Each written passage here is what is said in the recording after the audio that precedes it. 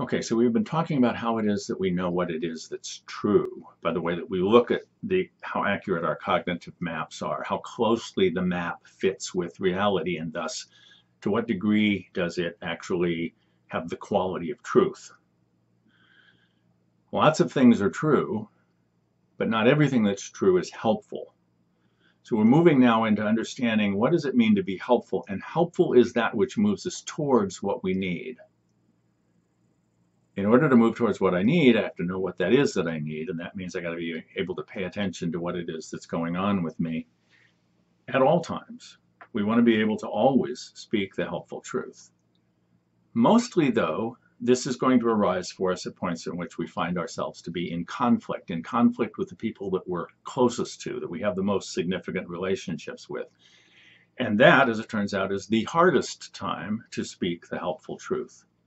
So one of the things we want to start with here is to look at what do we mean by conflict.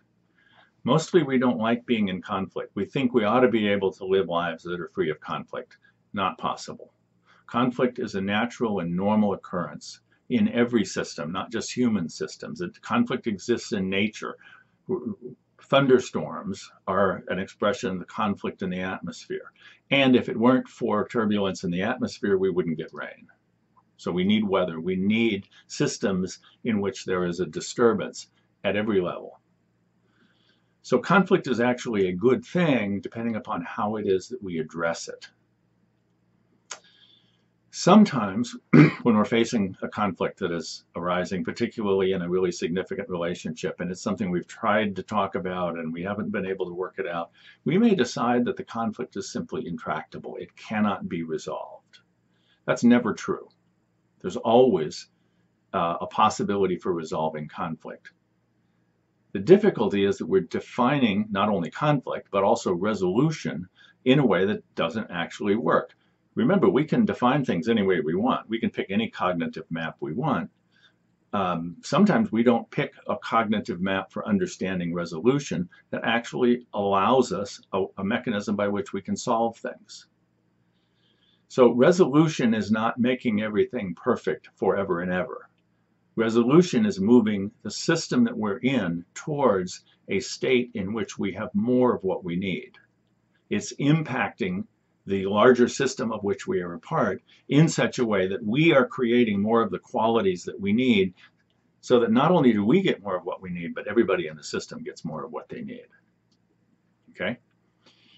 Now, the third difficulty with the way we think about conflict is that we use the word conflict to talk about two different but closely related phenomena.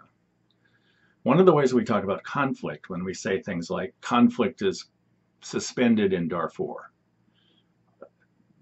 All that means is people are not shooting at each other right now in Darfur. That doesn't mean that the underlying injustices that have caused the shooting have been fixed when we saw the, the knee on the neck of George Floyd and watched him die, it was an example of an injustice. And the result was people taking to the streets in ways that are unprecedented.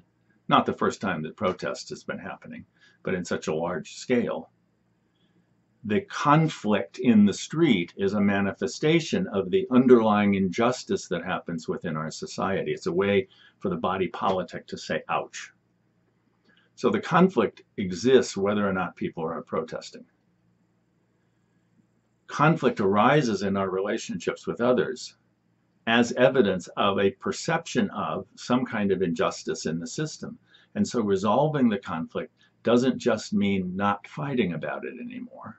It means actually addressing the dysfunctions in the system in such a way that we construct what we need in a way that everybody gets what they need. And speaking the helpful truth is a primary kind of um, strategy for being able to do that. So let's go to work here and figure out just what it is that we need.